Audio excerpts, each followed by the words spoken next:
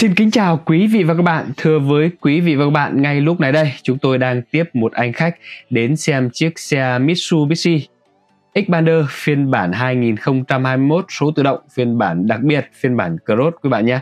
Đấy, anh khách đến xem xe, xem rất là kỹ luôn quý vị các bạn ạ. Đấy, anh chia sẻ là anh đang cần mua một chiếc xe 7 chỗ ngồi cho cậu con trai đi, cho nên là anh đến anh xem xe.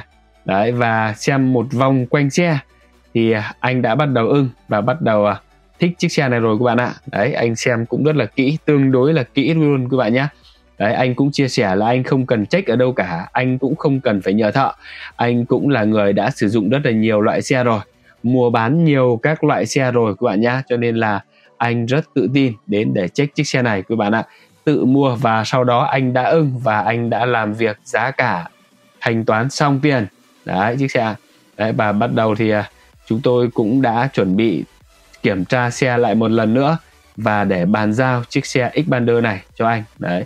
Xe, chiếc xe chúng tôi cũng đã thu hồi đăng ký biển số, nhưng bây giờ chưa sang tên, cho nên là vẫn phải dính chiếc xe đã đi đăng ký để anh tham gia giao thông, đánh từ cửa hàng để về nhà anh. Đấy, các bạn nhé.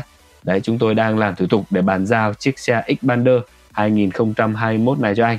Đấy, một anh rất là quyết đoán, xem xe một vòng và làm việc giá cả xong là giao luôn chiếc xe này các bạn nhá.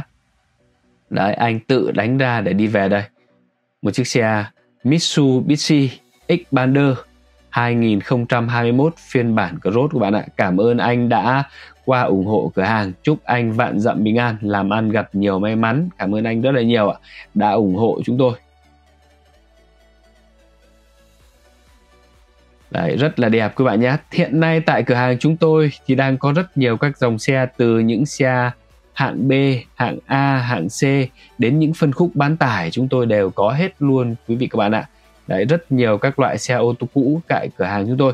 Quý vị và các bạn nào mà đang có nhu cầu mua xe ô tô cũ thì đến cửa hàng chúng tôi sẽ rất có nhiều các loại xe, rất nhiều phân khúc để cho quý vị và các bạn lựa chọn các bạn nhé.